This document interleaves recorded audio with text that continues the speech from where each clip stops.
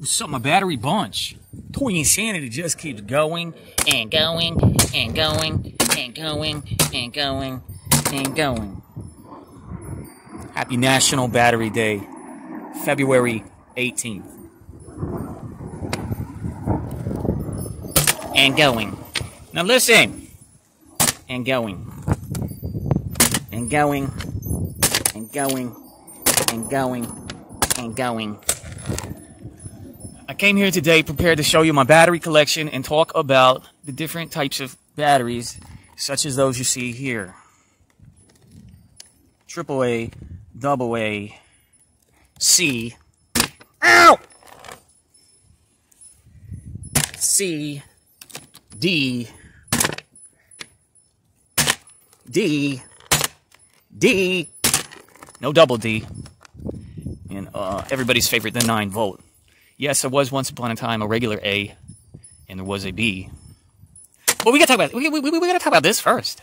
Well, it's today years old. I found out Energizer is not even America's top brand of batteries. It's Duracell. Uh, second of all, I was like, "Yo, Jarvis, what is uh, what is the Duracell mascot?" it's a rabbit. And then I'm like, "Yo, how can that be?" The Energizer bunny and the Duracell bunny can coexist. And why have I never still going and going and ah? Why have I never? Here, here's a picture of the Duracell bunny. I've never seen it before in my life. Okay, because everybody, everybody in America, let me tell you, everybody grows up knowing the Energizer bunny. This little pink bunny. He got batteries right there, exposed battery. He keep going. He's been going since 1989. Non-stop operation. Hang on, I, get, I gotta get my D. Ah, nothing but straight D insanity. Listen, Duracell Bunny. Here's what the court decision has come to, apparently. In Europe, or outside the U.S., let's put it this way. You let me know. Comments below. That's what they're there for. I want to be educated. Are you seeing that Duracell bunny on the packaging? Because the, the court decision, first of all, first of all, Duracell's the biggest company. Uh, second of all, they both got bunnies. Third of all, Duracell had the bunny first, 1973 versus 1989. But somehow it, the court decision was in the U.S. only Energizer can use the bunny on their packaging and advertising.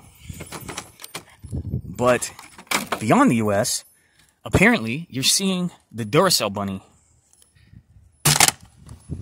on your battery packs.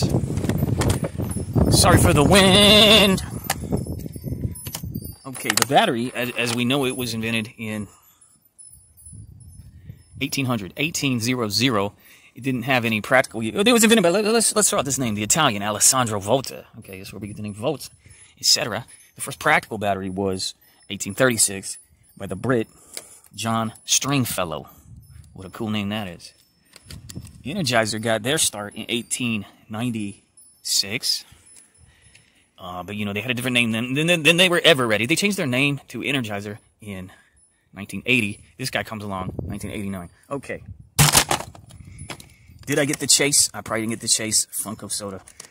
But I'm happy. Re refreshingly fun. There's no actual soda, but wouldn't you know it, I got the I get the pop and the soda fig.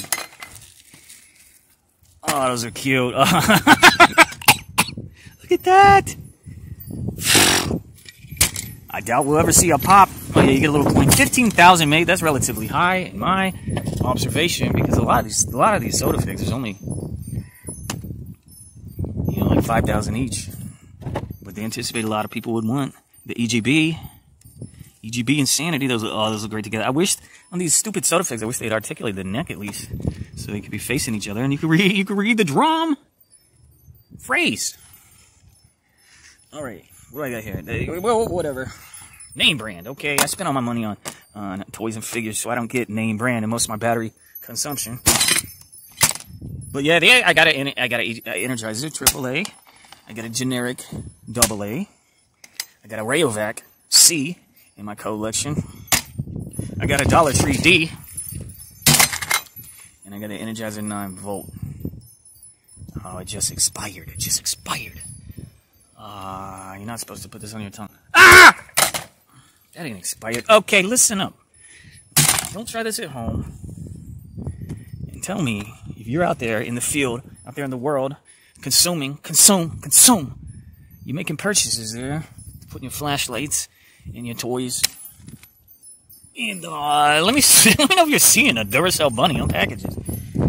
All right. I also found out today. Okay, these are button cell batteries that you put in toys and such. Uh, LR44 is the most common, but I don't have an LR44 currently. I do have an LR41, LR60. I just found out this means the L means lithium, the R means round, and then the the last the number itself is just a size. So uh, yeah, these are for like watches and calculators and the medical equipment and car keys. These tend to be in toys where they don't want you to replace the battery, and then LR LR41s usually get glued in, or the you know the plastic toy gets glued to where you cannot. LR44s is when they give you the screw and you can replace them in your toys and such. Toy insanity. Ah! Hope everyone likes pancakes. What are you even doing, man? You broke the. Mm! Okay, okay. Happy Battery Day, Feb. 18. Finally did it. Finally got the video done. Finally done did it. EGB times two. See ya on the other side.